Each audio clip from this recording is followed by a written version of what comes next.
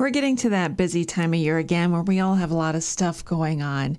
And so, with that in mind, I decided to take a step back to the year 2019 and re air one of my favorite episodes with you.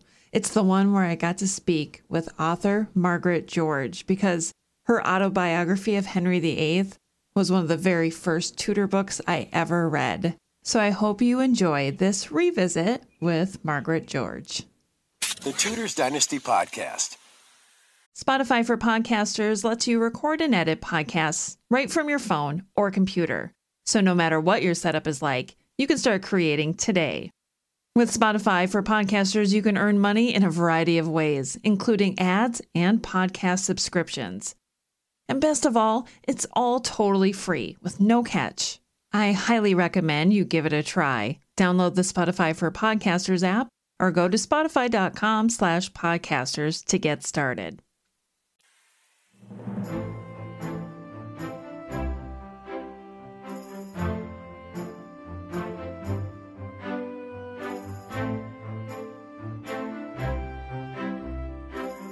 You're listening to the Tudors Dynasty Podcast with Rebecca Larson. Today, I'd like to welcome to the show very well known author Margaret George. Margaret, welcome to the show. Thank you so much. I'm delighted to be here. So many of my listeners know you probably best from the autobiography of Henry VIII, but I want to know when did your love of history begin? Well, it began when I was a child. Uh, my father was in the Foreign Service, and when in the really uh, uh, formative years of being seven, eight, and nine years old, we lived in Tel Aviv, Israel. And uh, I went to a British school. So you can see where this is leading. Um, first of all, I learned a lot of British history in this, even though I was only in, you know, an elementary school. Their school system really, it was very grown up for little kids, I think. And so not only did we have did we have to to you know pray for the king, the king the morning exercises and learn about British history, but of course I was in in Israel, surrounded by all this history, and we studied history in my school. I still have those books. Uh, there was the, the House of History, and it started with Mesopotamia, and it went on through Egypt and so on. And I got my father to take me to to Egypt, and uh, so all this history was very real to me. And those two, the ancient and the and the English, have always stuck with me. And I guess that shows that when what you learn when you're seven, eight, and nine it really gets implanted. so that's really when it got started. My father was really interested in history, and uh, I remember we went around. He ordered a lot of books about the Crusader castles and the Crusades, and he he knew all of those things. And we would go visiting these castles and and uh, learning all about Saladin. And uh, well, so that's where it comes from. What a fascinating childhood you had. It, it was. It was an unusual one, really. Uh, very, very odd in some ways, but uh, but uh, very uh, special in others. Well, and I think, you know, you talked about obviously where the, your love of history began, and we know that you have a fascination with the Tudors. Um, who would you say is your favorite Tudor monarch and why? Well, first of all, we don't have that many to choose from. so there's only five of them. So I would say, of course, Henry. Uh, he's he's so operatic. He's so larger than life, and he lived a lot of different kind of phases because the young Henry was so different from the middle-aged Henry. It was different from the old Henry, and uh, you know he he created uh, a lot of social changes, but he also, in a way, was a victim of them. I mean, he had no he had no power over Martin Luther starting Protestantism, and uh, that certainly influenced his reign. He had no uh, he had no control over a lot of things in his life. He felt that he did, but but he really didn't. And I thought that that makes him very modern in lots of ways. Because I think we all feel like we don't have a lot of control over our lives, not as much as we'd like, anyway. But he's a fascinating character, um, and I I kind of wonder what he was like as a young man. I mean, meeting him as a young man would have been really interesting. Um, and he's kind of a tragic figure too, like Nero. He's my favorite one too, and I know a lot of people don't like him just because I think it's popular to dislike Henry VIII. Um, yes. And, you have that fantastic number that he, you know, allegedly executed 72,000 people, which makes me laugh because that's a lot of people. well, uh, yeah, and that's that's quoted, and it's it's it's incorrect in the sense that he didn't execute them. That was the law in England. Um, a lot of people got executed, you know, for stealing sheep and and things like that. But that was not directly because of Henry. But it makes a good soundbite you know, to say he executed 72,000 people. Um, but it was a very brutal time. You know, there was no, prisons were not to hold people. I mean, they weren't supposed to stay there. They weren't for rehabilitation. They were just a holding pen until they got executed, usually. So, yeah, that's laid at his door, but I don't think that's quite fair. Thank you for clarifying that. That's always an argument that I, I always try to come to bat against and go, come on. That, first of all, that is a lot of people, and if you look at the total population of England at the time, yeah. if, he, if he executed that many during his reign, and granted he reigned for like 38 years, that'd be a, a large chunk of the population too. Yeah, and I wonder where they got that that uh, number from. Anyway, I mean, you do find that often numbers are quoted. They get started from somewhere. Uh, someone's uh, tally, and, and no one ever goes back to check on it and say where did this come from, and nobody updates it. So I'm I, I really question whether they're even even if you figure in all the sheep the sheep stealing and things like that, you, I still think you'd have trouble coming up with 72,000 people. I agree. I definitely agree. So, other than the number of executions under Henry's belt, what do you believe is the biggest misconception about the Tudor dynasty in general? Well, uh, I'm not sure that in general there's a lot of misconceptions about them. I mean, they, they pretty much are somewhat like their their public uh, uh image. That is, Henry VII really was stingy and, and hard nosed, and Henry VIII really was, you know, over the top in lots of ways. And well, we can forget. And, and Mary, uh, you know, Mary Tudor certainly was a, a, a fervent Catholic who wanted who wanted to restore her mother's religion. And of course, the times being what they were, you you know, burning people was perfectly okay. Um, Elizabeth really was mysterious and um, very enigmatic, uh, very, very hard to ever get to know. Uh, she was a great ruler. Uh, so I, am not quite sure uh, what misconceptions people have about them. The, the, broad outline is pretty accurate, I think. Um, well, what do you think? Well, you know, and it's funny too when you say that. I'm like, maybe I phrased that question incorrectly. Uh, you know, I think maybe I go back to Henry VII and defeating Richard III at Bosworth, and how there's so many people that feel the Tudors did not belong on the throne, that they oh, didn't yeah. have a rightful claim to the throne. Yet I'm a firm believer that Henry Tudor won the, the crown on the battlefield, and that makes it legitimate. That's true, and, and, and certainly up until then, all the way through their history, a lot of kings had, you know, won through having the best army. So he's not the first, and usually the winner of the battle is the one that uh, that gets to wear the crown. The, to the winner go the spoils. Um, so yeah, I mean, I think people romanticize the Plantagenets and say, "Oh, the Plantagenets, so sad. You know, they shouldn't have been." Um, taken off the throne, but it seems that you know, every dynasty sooner or later gets taken off the throne. Uh, certainly the Tudors didn't, you know, there were no more Tudors after Elizabeth. And uh, so it's just kind of, there is no such thing as a thousand year dynasty, although people, you know, rulers always think theirs is going to be the one. Right. Yeah. The Plantagenets ruled for like over 300 years, if I'm remembering yeah, correct. That, they had a good run. They did. it was time for somebody new. yeah, he had a good run. Well, one of the things um, Henry VIII, of course, is most well known for is being married six times, which is crazy if you think about it. It is but crazy. it is. He's like the Elizabeth Taylor of the yeah. 16th century. Absolutely. But uh, of of his six wives, I'd be curious to know which one is your favorite.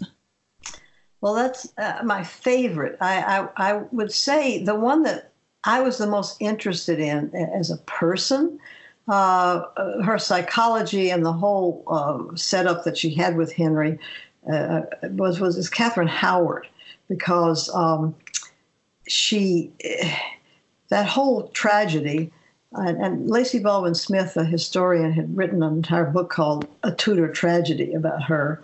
Uh, she's probably the least well known of all of them, too, because she was so young. But one reason that I was fascinated with her, and the reason I, I thought about started me on the Henry VIII uh, trail, was that I was at Hampton Court one time, and the, I was up in that uh, place called the, the Haunted Gallery, where supposedly Catherine Howard uh, tried to, to appeal to Henry and was beating on the door of the Chapel Royal for him to see her, and the, the guards took her away, and she was screaming. And and, uh, and I thought it just went through my mind: why do we know all about Anne Boleyn? She's a household name, but hardly anybody knows the story about Catherine Howard. And they were very similar because they were cousins, and they they uh, they both met the same end for supposedly the same reason, and at, that movie Vertigo, which was a movie with James Stewart and Kim Novak, it was made in the 1950s, a Hitchcock movie, which has since been acclaimed as one of the best movies of all time. But it was really about trying to recreate and bring back somebody from the dead that you were responsible for killing and trying to make it happen all over again. Like like I want I want another chance. I want a chance to have this happen again and this time it's going to turn out differently. And I wondered if Henry, if that was his motive for getting involved with Catherine Howard, because she was she was Anne's cousin. She looked like Anne. She was the same age. She was a young person, and that uh, she was then accused, she actually did the things that Anne was accused of, and it turned out the same way. She ended up being beheaded, just like Anne. But that whole that whole psychological, you know, triangle almost uh, fascinated me. And then as I got more into it, I, I saw it's also the same old story about an older man who wants to recreate his youth, and the whole psychological thing about it fascinated me. She herself, I think, was really a pretty innocent and naive person. I mean, she when you read about some of the things that she did, you think, I can't believe anybody would be that foolish. Uh, don't write love letters to Henry's uh, chamber attendant saying, you know, my heart is want to die when I think I cannot always be in your company. Catherine, the queen. I mean, really. But she was just a teenager. And so I, though originally I just wanted to write that part, and then I thought, no, um, I have to write his whole story because if it's not in context, if you haven't seen him as a young man and seen him grow up and seen the other wives he has had, doesn't really make as much sense. It's not as powerful. And then I got got very interested in Henry himself because he was so different as a young man. So that's that's a very long answer to your question. She, I love Catherine Howard too. I feel like the longer I study the Tudors, my answer changes every uh-huh. year. Yeah, and yeah. I think everybody is drawn to Anne Boleyn first because her story is so tragic and it's yeah. the one that's carried the longest over time. Yet all of his wives have their own tragic stories. They do. They do. You know, I um I've enjoyed watching that uh, the Spanish Princess, which is a miniseries made from Philippa Gregory's books. And um, you know, sure, it's a miniseries and it has all all the, the exaggerations and Hollywoodisms. But I, the young Catherine and the young Henry in that are, are very good, and it does take you back to her story because you, you know people think of her as just this this kind of old sad dowager, you know, praying and and and being being. Uh, mistreated by Henry, but there was a time when she was the young, beautiful princess, and she too has a long story. And of course, Anne Boleyn has a story, and Jane Seymour does, and Anne of Cleves. I went to the place where I went to Cleves, where where Anne Anne's castle was, and you know, you, it's so interesting to see it outside of England to see this little castle in this small German duchy, and think that she went to England and became you know Henry's wife, and then then the beloved sister of Henry, and she too had a has a story. And of course, oh, of course, poor Catherine Parr. I mean, talk about a bad deal. she really um, had the two elderly husbands. Then there was Henry, and then she marries Thomas Seymour, who you know turns out to be you know such a cad, and then she dies in childbirth. That's awful. So you know you're right. Every one of them is sympathetic in their own right. You know, not having especially to do with evil things that Henry did, but but uh, just in the things that life handed to them. You know, I love Catherine Parr too, and something you may not know about me is I'm fascinated by Thomas Seymour. yeah, I know. I, I think he was, I saw that. Yeah, he was a sexy guy. You know, um, no doubt about it. Um, and uh, yeah, he he was quite a character, and and I've I've, you know, he, he brought he brought upon himself what happened, but mm-hmm. to him, but uh, he really is quite a character, and I can see why you'd be attracted to him. It's a good thing that that you can't be taken in by him in person because he would just make off with everything. so I, we've been talking about Henry for a long time, yeah. um, but probably the last question that I have about Henry for now is I'm very curious. What made you decide to call your book on him an autobiography? Oh, you know, that wasn't my choice. that was my editor's choice. And I, I was a little, I, I didn't think it sounded right to me because autobiography to me is a very modern term. I mean, I don't think people in, in Henry's day would call it an autobiography, uh, but she she liked it and she and she said no no let's call it that. So um, I once someone even once said I heard somebody say that I was in a bookstore and I was standing there and I someone picked up the book they didn't know I was connected with it and they said autobiography of Henry VIII, but they said but he's dead. yes, he's dead. But they almost felt that you had to be alive to write the autobiography. Right, right. Um, and then after that, you know, my other books, um, there was the memoirs of Cleopatra and the confessions of young Nero. and, and finally, I just, we ran out of, um, you know, euphemisms for I'm telling this story. but, but no, that was her idea. Um, well, thank you for getting the truth out there for all of us who have been curious about that. yeah, yeah. Well, I, I, had some very artsy kind of title for it, as I recall. And uh, she said, and she's right about this, she said, you have to have the name of the character in the title. She said, mm-hmm. or people just aren't going to immediately know who it's about. So I have tried to do that ever since. I think that's true. If you have some some esoteric kind of quote from something and and you know people don't know this is this is Henry VIII. So the autobiography of Henry VIII certainly certainly put it out there. It's a wonderful book, and you thank you. You have honestly mastered writing a beautiful story.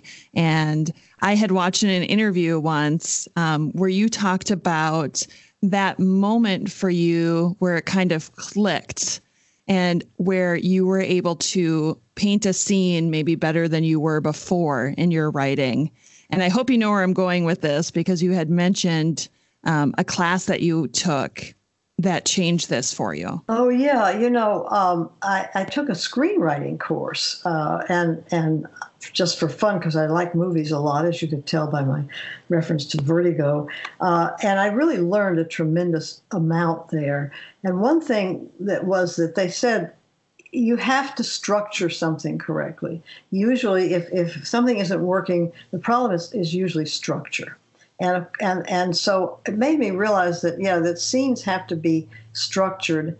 Uh, they can't just be, can't just be interesting characters that you think are interesting and, um, and beautiful words. Although I think, of course, language is important. And I, I did study, actually go and underline things in, um, you know Fitzgerald and Yeats and especially yeah, Yeats and Poe and uh, you know people that use language beautifully and uh, Keats and and uh, Ray Bradbury because I think I think that that's uh, you know the, the sensual uh, things like the sun warmed porch or the the, the, the, sound of the wind and the leaves, all those help make the scene seem real. But I think the screenwriting course was right about the structure.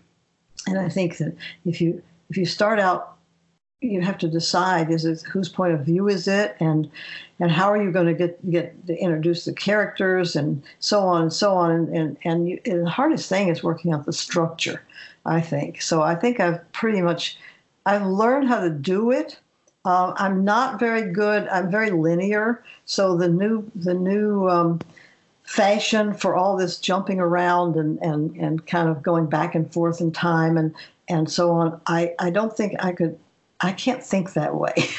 I've even deconstructed novels that do that because, of course, the, the, the writer cannot stop the reader from, from going ahead and, and putting putting the chapters back in the way that the reader wants them so that so that it can become linear so i'm i'm confessing now that i have done that to people's books because i just um, for me structure it has to be linear you have to go forward and um, and have a kind of a coherence in it. For me, anyway, I know it. A lot of people really like the jumping around, and that's I say more power to them. But I, I can't really do that. Well, we've talked a lot about Henry VIII, and now we've discovered how you became such a magnificent writer. Let's talk next about your book on Mary, Queen of Scots. So that one's Mary, Queen of Scotland and the Isles. That one looks like it was published in 1992. That's right. Um, and it's, that, it's had a resurgence recently because of the movie and the opera and everything. So it's one of those characters that, that never moves off stage completely. Yeah, yeah. And the the one thing I noticed when I read that book is you spend a lot of time at the beginning of her life, so to speak, at French courts. How many years did she spend there again? She was there 13 years, and and talk about formative years. She went when she was five, and she didn't come back till she was 19. So therefore, you know, all these influences that you're going to have that stay with you the rest of your life. She was absolutely immersed in this French culture, and her mother was French, so she was half French anyway. Do you think she was as romantic as history enthusiasts like to believe she was? well, I'm not sure exactly what they mean by romantic. Um, she's certainly a romantic heroine uh, in, in, people's minds, but I think she was she was both an optimist and she was impulsive. So, in other words, she went with her intuition, uh, which would be fine, except that her intuition. Um, she was a bad judge of character. So, for example, the optimism and the impulsiveness. So, she decided to go to England uh, after she had been, for the second time, um, lost a battle in Scotland and was obviously not going to get to keep her throne at all. And she decided, I'll go to England. Elizabeth will help put me back on the throne. And it was very impulsive. And it also was optimistic. It was like, of course, Elizabeth will help me. Well, if she had really stopped to think about it, she would have realized that there were a lot of reasons why Elizabeth would not want to help her. Uh, one of them being that Mary had put the arms of England on her shield when she was in France, and and also that Elizabeth was unpredictable. And people begged Mary not to go. The people with her uh, that when she was on that shore in that boat said, "Don't do it, don't do it, don't do it." But she did. So that's that's the romantic part. She had a great deal of courage, no doubt about that. But she, I think that's where the romantic part comes in because when we think of romance, we also think of kind of tragedy and what do they call tra- uh, haste and waste is tragedy, and and then uh, success is thrift and delay. And someone had said that Elizabeth was all about thrift and delay, and Mary was all about haste and waste. So, uh, again, yeah, I, I think she certainly makes a good romantic heroine, though. I always wonder if Mary's intent was indeed to take the throne of England. Did she really want that? Did she want to dethrone Elizabeth?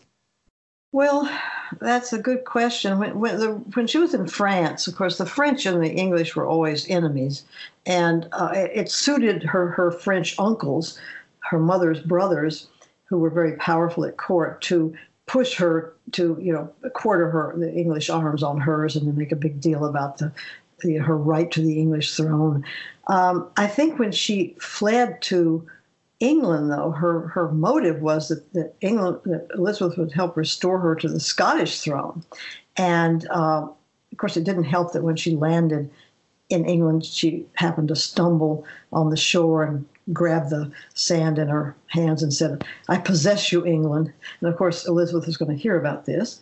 Uh, that's what I mean. She was very impulsive and um, but I think after a while, you know, she she she was she was hoping that somehow some miracle would happen and she would get to see Elizabeth because she she had great faith in her charm and that if she could just get an interview with somebody, she could win them over, and that happened most times. Um, but when years went on and this wasn't happening, I think she got desperate, and she did say that that she was being held really for no reason. That, that it was, and if you if you're if you're if you're held for no reason illegally, aren't you entitled to use any means to get out? And so I think it was really that she wanted to escape. Um, and it would take anybody that, that would promise to to help her escape. And even though that would that would mean these were usually people who wanted to put her on the throne, um, and it was kind of like a package deal. I think her main motive was to get out, but she probably wouldn't have minded becoming the English queen either. And I think by that point she was so he was so disillusioned and angry at Elizabeth that she wouldn't have minded if Elizabeth had been assassinated. And in fact, she said that in writing, and of course, that was what doomed her. Yeah, and that was going to be my next question is do you think the execution of Mary was the, really the only possible outcome of their story? Well, ultimately, yes, if you think about the alternatives. Uh, so, so here you have this woman uh, Mary, Queen of Scots, who is seen by Catholic Europe as the legitimate heir to the English throne because they saw Elizabeth as illegitimate. They didn't recognize Henry's marriage to Anne Boleyn. So, and then on top of that, the Pope in, in 1570 declared that uh, that England, Elizabeth certainly was a usurper. She was not the right rightful queen of England, and all of her Catholic subjects were absolved of allegiance to her he didn't really go so far as to say anybody who killed her was, you know, get my blessing, but he might as well have. So you have this this person sitting right in England that uh, has that is this thorn in your side that, that is just recognized by others as being the true queen.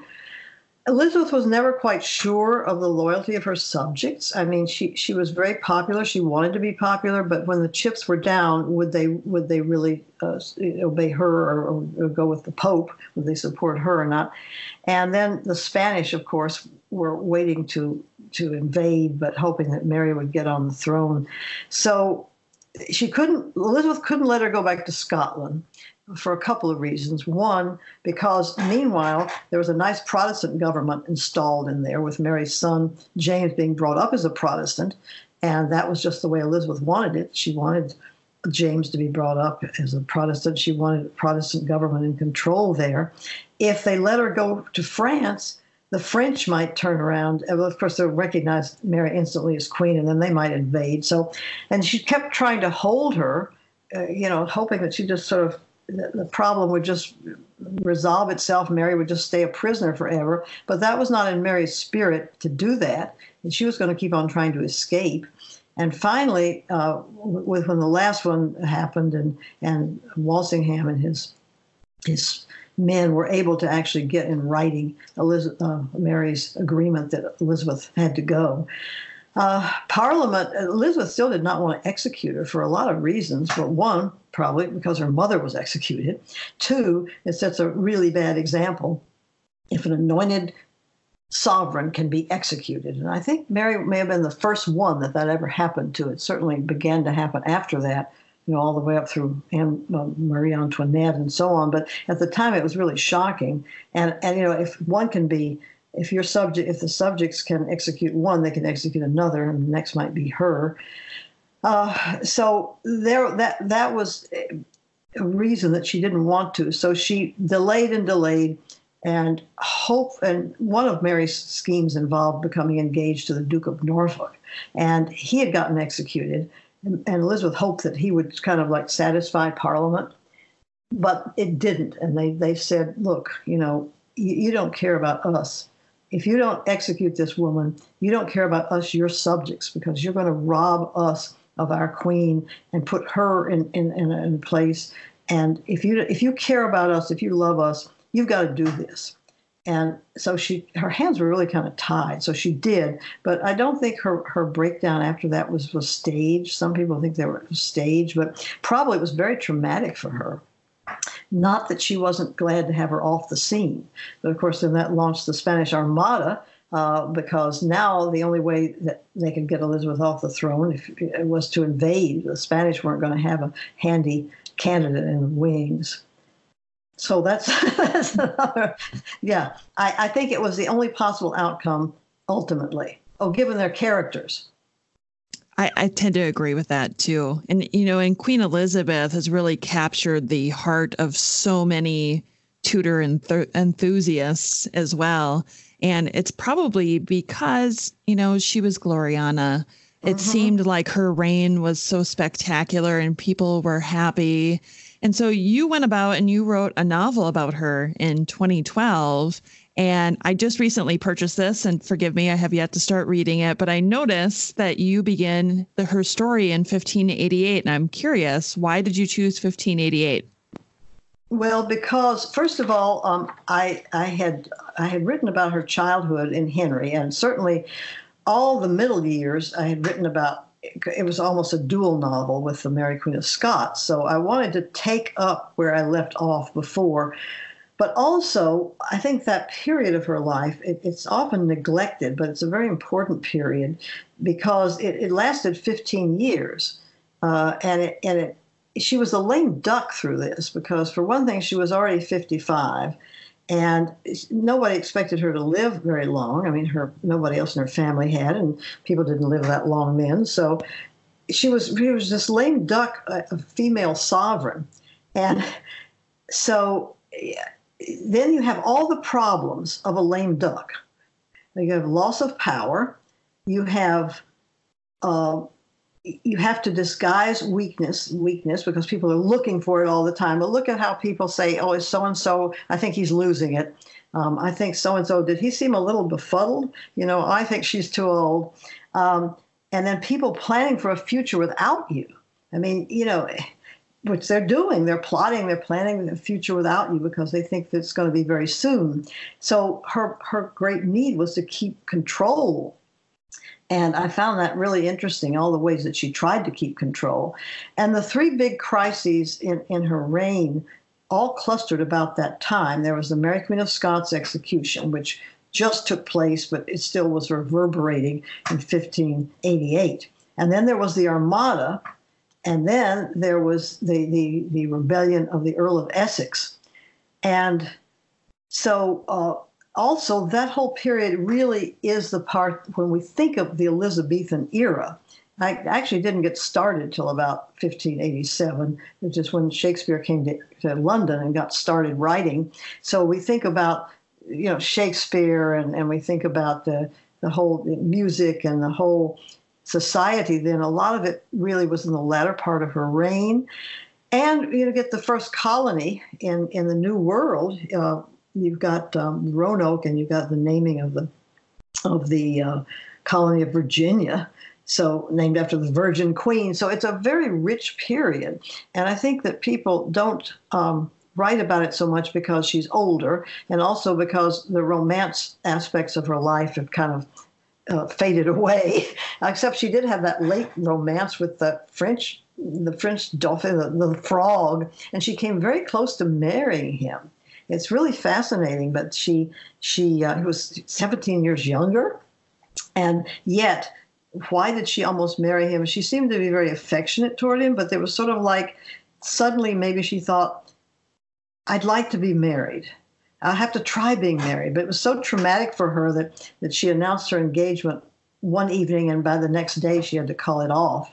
Uh, so you get all of this psychological um, uh, drama in this in this period. But as I said, because Dudley is kind of, you know, he's already married to Lettice and and he's kind of off the scene.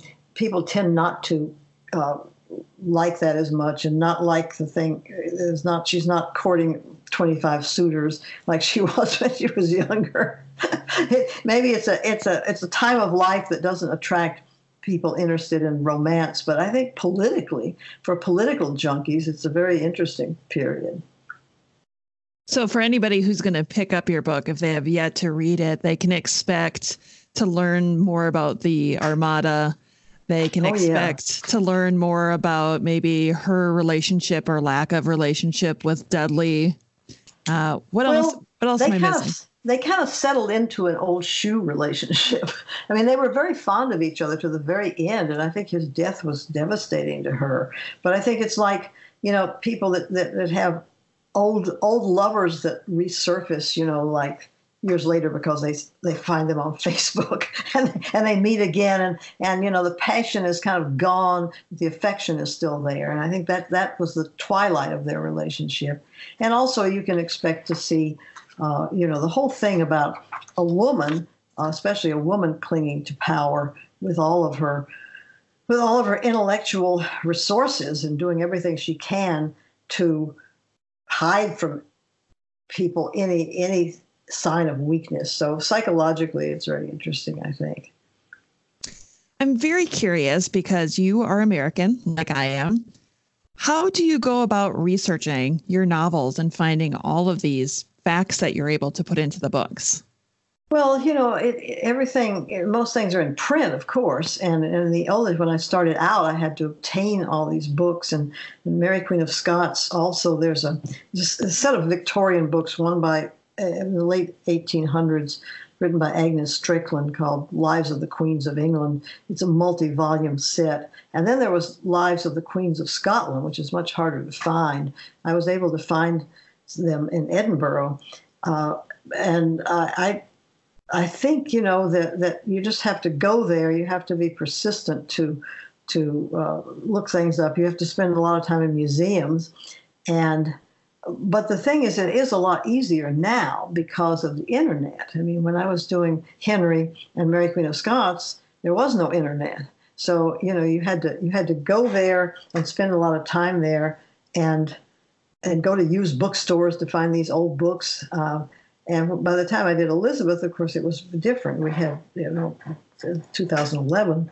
Uh, but I think interesting about you saying I'm an American because people ask, you know, how was I so accepted in England with Henry? And it was on the Sunday Times bestseller list for several weeks. Well, I think they thought I was English because of my name, which is my real name. And I, I was English like generations ago, my family was. But, but I think that I I kind of slid under the radar because my name made them think I was English. Of course, as soon as they heard me talk, they knew that isn't true. Right, right.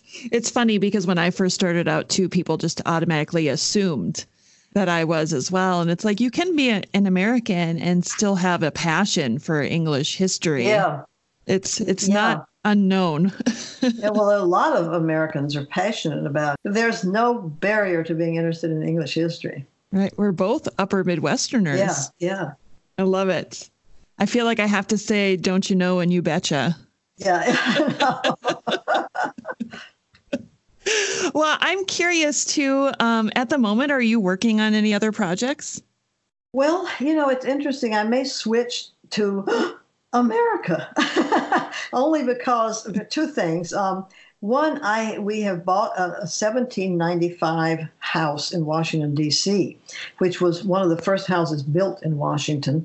Uh, after they finally settled it, that was going to be the capital, and uh, they gave uh, permission to. You know, there's always developers, always developers rush in to to do projects. So so the developers came in and they built a, a, these early row of houses, and so you know, I think that I that house has seen so much American history, and and I kind of neglected American history because, um, you know, I was so involved with European and ancient and everything. But I'm getting very interested in American history, and I I would like to explore that more. But I have a ways to go with that because.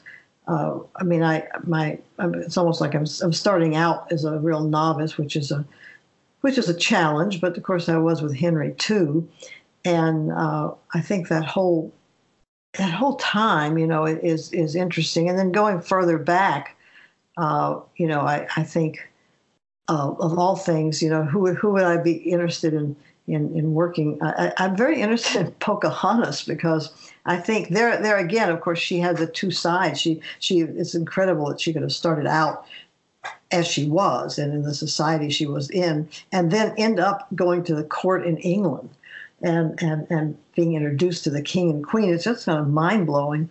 Uh, I've always wanted to visit her grave, which is down the Thames a bit because she she died when she the English climate was too much. Um, and I always wanted to visit her grave, but I'm curious about her too. So I may venture into America. Uh, um, and I'm working on a one-act play about Nero. Speaking of screenplays, uh, for this for this uh, Edinburgh Fringe Festival. It would be only a one-hour thing. It's it's very different to write a play than a novel, though. I'm finding out. So those are my possible projects, um, and um, you know, new new worlds to explore. I love that you're unafraid to try different things. It's it's it's the spice of life, really, isn't it? It is because I think if you just if you always do something that you're so familiar with. It's comforting, but there's a great joy in discovering something you know new, a whole new area, or a whole new eh, time in history, and and uh, you know it, it keeps you keeps you young and keeps you alive. I think. Yeah.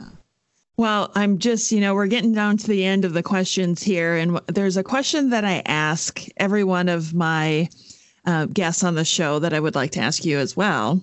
If I were to, able to give you a time machine, Margaret, and you were able to travel back in time and safely return, where and when would you travel to?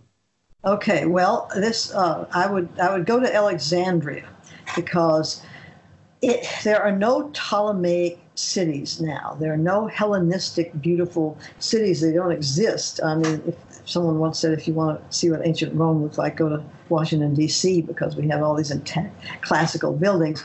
And I'd love to see, of course, Cleopatra herself. I'd love to see and hear her because supposedly she had this beautiful voice that was like a, a, a harp being played, and that and that also that that she wasn't beautiful, but you couldn't be in her presence for very long without being utterly entranced by her. Well, that's a very abstract kind of kind of description. I would like to see it in action. I'd like to see what there was about her, and I'd like to watch. So, yes, I would go to Alexandria and I would spend uh, the afternoon with Cleopatra in her palace. and uh, you also mentioned that um, whether someone asked if I'd done research in the Library of Alexandria. Well, when I was doing Cleopatra, that uh, that library didn't exist yet. It, it, ground was not broken yet. I think it was just barely broken. There was a, uh, some digging, but the buildings and the and the library itself uh, was still in the future. So no, I was not able to do that. Uh, I'd like to see the Alexandria Library. Hey, If I went back there, can I stay like a couple of days so I can see both the palace and the library? so I, and the lighthouse. I think I need about a week there, really, in my time machine. Wouldn't that be wonderful though? If we could yeah. just go experience it and come back with all of oh, that information. I, I would I I daydream about that. Mm. Okay, so what would my listeners be surprised to learn about you that maybe they would never expect to know? Well, what they would be surprised to learn is that I'm a sprinter and a long jumper, a competitive one. And so when uh, the, the 100 meters, the 200 meters, 400 meters, and the long jump, and um, I, I, just love track and field. and so, in the sections in uh, the Nero book, the volume two, there's a Nero went off to Greece to um, compete in all the Panhellenic games, and I have a number of things about races in there. And, because I, I actually went to a, a, reenactment one there in Greece.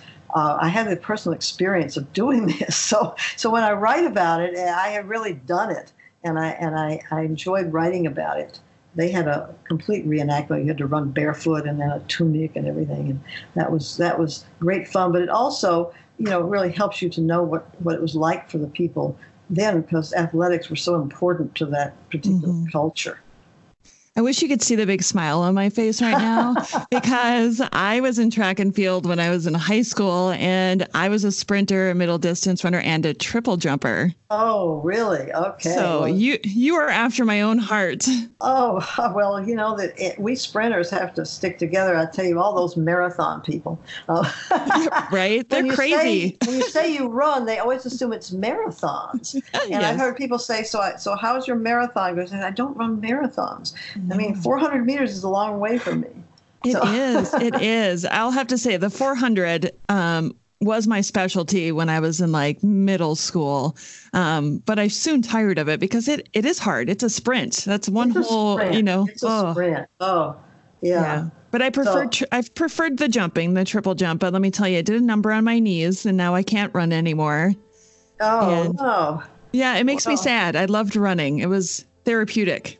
Yeah, that's too bad. Well, I stayed away from the triple jump for that reason because I knew it was harder with the with the three things, and I thought I better stick with just one, the one landing, and not three. So, Oh, Margaret, it was so fun to talk to you today and learn all about your your books and how they came about. And thank you so much for being on the show. well, thank you so much for inviting me. I'm I'm so pleased that you thought of it, and I've enjoyed it very much. And um, let us be in touch as we Midwesterners and and uh, sprinters uh, got to stay in touch.